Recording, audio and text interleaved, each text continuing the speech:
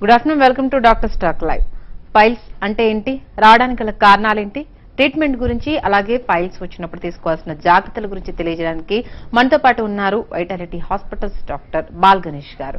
అలాగే మీకు ఇంకా ఎలాంటి సందేహాలు ఉన్నా దానికి సంబంధించి పూర్తి వివరాలు తెలుసుకోవాలనుకున్నా స్క్రీన్లో డాక్టర్ గారితో మాట్లాడాలనుకుంటే లైవ్ మీద కనిపిస్తున్న నంబర్స్కి కాల్ చేయండి. అలాగే దీనికి సంబంధించి మేము లైవ్లో మా ప్రాబ్లం చెప్పుకోలేకపోతున్నాం. ట్రీట్మెంట్కి సంబంధించి పూర్తి వివరాలు తెలుసుకోవాలనుకుంటున్నాం అనుకుంటే డాక్టర్ గారు వ్యక్తిగత నంబర్ స్క్రీన్ మీద కనిపిస్తున్నాయి. దానికి సంబంధించి పూర్తి వివరాలు డాక్టర్ గారితో నేరుగానే మాట్లాడచ్చు. గుడ్ ఆఫ్టర్నూన్ డాక్టర్ డాక్టర్ గారు అంటే పైల్స్ అనేది ప్రస్తుతానికంటే చాలా మందికి మలబద్ధకం వల్ల వస్తుంది అన్న ఒక చిన్న ఐడియా ఉంది.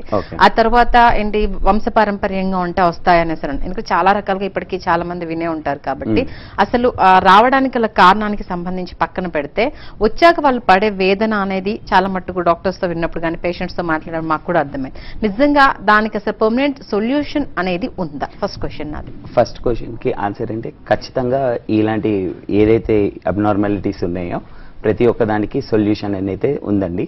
ఫస్ట్ థింగ్ ఏంటంటే పైల్స్ అనేది జబ్బు కాదు. ఇదే అదొక మన లోవర్ అబ్డామిన్లో అయ్యే ఒక చిన్న అబ్నార్మాలిటీ. ఇది మాక్సిమం ఎక్కువ సేపు కూర్చొని పనిచేసే వాళ్ళకి కానివ్వండి వ్యక్తిగతంగా ఫిజికల్ వర్క్ చేసే వాళ్ళకి కానివ్వండి మనం సరైన టైంలో కానీ సరిగ్గా తినని వాళ్ళకి కానివ్వండి అధిక మోతాదులో బరువులు కానివ్వండి హైజెనిక్గా పెట్టుకొని వాళ్ళకి కానివ్వండి ఇలాంటివన్నీ వస్తూ ఉంటాయి. ఇవి పెద్ద పేగులో చివరి భాగంలో ఉన్న యానల్ కెనాల్ మీద ఎక్కువ ప్రెషరైజ్డ్ పడినప్పుడు అక్కడ ఉన్న రక్త సరఫరా ఏదైతే ఉంటుందో అది వాప్ అనేది వస్తూ ఉంటుంది. దాని త్రూ ఇలాంటి హెమరాయిడ్స్ కానివ్వండి ఇలాంటి ఏదైతే అబ్నార్మాలిటీస్ ఉంటాయో అలా వస్తూ ఉంటాయి. వీటికి వచ్చినప్పుడు సొల్యూషన్ అని సొల్యూషన్ కోసం మా దగ్గరకు వచ్చినప్పుడు వీటికి మల్టిపుల్ టైప్ ఆఫ్ ట్రీట్మెంట్స్ ఉంటాయి. ప్రతి ఒక్క దానికి వాటి వాటి ట్రీట్మెంట్స్ ఉంటూ ఉంటాయి. ఈ ట్రీట్మెంట్స్ కానీ సరైన టైంలో కానీ తీసుకోగలిగితే ఖచ్చితంగా వీటికి పర్మనెంట్ సొల్యూషన్ అయితే ఉంటుంది. ఓకే మొత్తానికి ఫోర్ గ్రేడ్స్ దీంట్లో ఉండేవి ఒకసారి దాని గురించి. ఓకే ఏదైతే హెమరాయిడ్స్ కానివ్వండి పైల్స్ కానీ తెలుగులో దాన్ని హర్షమూలలు అంటారు.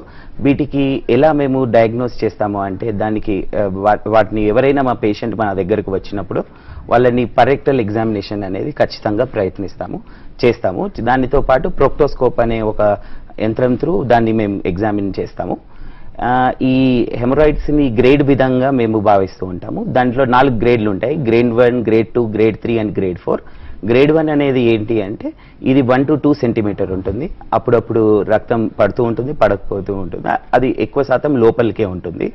వేరే గ్రేడ్ టూ అనేది ఏంటి అంటే ఇది రెండు సెంటీమీటర్ల కన్నా ఎక్కువ ఉంటుంది. పెయిన్ఫుల్గా ఉంటుంది. అప్పుడప్పుడు రక్తం పడుతూ ఉంటుంది. అండ్ మోర్ ఓవర్ ఏంటి అంటే అది ఎప్పుడైనా మన మోషన్ అనేది పాస్ చేసేటప్పుడు కింద కిందకి పడిపోతూ ఉంటుంది. ఆ మోషన్ అయిపోయిన తర్వాత అవి లోపలికి వెళ్ళిపోతూ ఉంటాయి. వెరాజ్ గ్రేడ్ త్రీ అనేవి ఇవి కాస్త పెద్దగా ఉంటాయి. త్రీ టు ఫోర్ సెంటీమీటర్ కన్నా పైనుంచి ఇవి రక్తం వస్తూ ఉంటాయి. ఎప్పుడైనా మనం నడుచున్నప్పుడు కానీ కూర్చు కూర్చున్నప్పుడు కానివ్వండి ఇలాంటివి ఏ పద్ధతి చేసినా కూడా అవి నొప్పిగా ఉంటాయి. వాటికి బ్లీడింగ్ పర్సెంట్ కూడా ఎక్కువనే ఉంటుంది. అండ్ ఇవేమిటి అంటే మోషన్ కూర్చున్నప్పుడు అవి బయటకు ఉంటూ ఉంటాయి. ఎప్పుడైనా ఎవరైనా లోపలికి వెళ్ళినప్పుడు పేషెంట్ వాటిని పుష్ చేసినప్పుడు అవి లోపలికి వెళ్ళిపోతూ ఉంటాయి. వెరాజ్ గ్రేడ్ ఫోర్ అనేది ఇవి మోర్ నాలుగు ఐదు సెంటీమీటర్ల కన్నా పెద్దగా ఉంటుంది. చాలా స్పేస్ని ఆక్యుపై చేస్తూ ఉంటుంది. అవి చాలా డిస్కంఫర్ట్ అంటే ఆ పేషెంట్ చాలా ఇబ్బంది పరంగా చేస్తూ ఉంటారు. అది బ్లీడింగ్ అయితే ఒక్కసారి బ్లీడింగ్ స్టార్ట్ అయితే అవి కంటిన్యూస్గా పడుతూ ఉంటాయి. అవి ఎప్పటికీ చాలా శాతం అవి బయటకే ఉంటాయి. అవి ఎంత రెడ్యూస్ చేసినా కూడా రేట్ గ్రేడ్ కావు. Okay. సో ఇవి నాలుగు పద్ధతిలో చేసుకుంటాము. ఎప్పుడైనా పేషెంట్లు కానీ ఎవరైనా కానివ్వండి ఏదైనా చిన్న చిన్న వాపులు కానివ్వండి ఏదన్నా ఉన్నప్పుడు ఖచ్చితంగా యాజ్ ఎర్లీ యాజ్ పాసిబుల్ డాక్టర్ని డాక్టర్ దగ్గరికి రాగానే వాటి గ్రేడ్స్ ప్రకారంగా మేము యాజ్ ఎర్లీ యాజ్ పాసిబుల్ మేము ట్రీట్మెంట్ చేస్తాం. ఈ గ్రేడ్స్లో ఉన్న మేజర్ ప్రాబ్లం ఏంటి అంటే ఏ స్టేజ్లో అయితే వచ్చిన ఆ స్టేజ్లో తొందరగా ట్రీట్మెంట్ చేయించుకోవడం త- తగనిసరి. వేరేజ్ రికరెన్స్ అని మళ్ళీ ఏదంటే ఇప్పుడు మనం డిలే చేసేటప్పటికల్లా ఆ స్టేజ్లని పెరుగుకుంటూ వెళ్ళిపోతాయి. అంటే.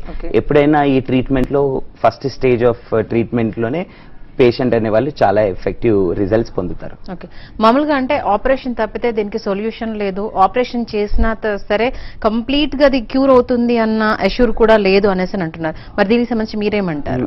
ఇది కొన్ని మాటలే అండి. ఈ మోడర్న్ మెడిసిన్లో ప్రతి ఒక్క దానికి ఖచ్చితంగా అయిన ట్రీట్మెంట్ అయితే ఉంది. దాన్ని మనం ఆపరేషన్ అయిపోయిన తర్వాతే దీనికి కాదు. ఆపరేషన్ తర్వాత కూడా పేషెంట్ అనే వాళ్ళు తగిన జాగ్రత్తలు అనేది ఖచ్చితంగా తీసుకోవాలి. ఆ జాగ్రత్త జాగ్రత్తలు తీసుకొని మేము చెప్పిన ఫుడ్ హ్యాబిట్స్ని కానీ వాటిని పంపించగలిగితే అంటే తీసుకోగలిగితే ఇలాంటి ఇబ్బందులు అయితే ఉండవు. వీటికి ఇప్పుడు వచ్చిన మోడర్న్ సైన్స్లో మల్టిపుల్ సర్జరీస్ కానివ్వండి మల్టిపుల్ అప్రోచ్ కానివ్వండి పెరిగిపోయినాయి. అంటే పెరిగాయి. సో వాటి వల్ల ట్రీట్మెంట్ కానివ్వండి ఏదన్నా కానివ్వండి దాని తర్వాత పేషెంట్ యొక్క రిలీఫ్ కానివ్వండి ప్రతి ఒక్కటి చాలా అడ్వాన్స్గా అయిపోయినాయి ప్రాబ్లం మీ తరపు నుంచి ఎలాంటి ట్రీట్మెంట్స్ అవైలబుల్గా ఉన్నాయి. ఓకే.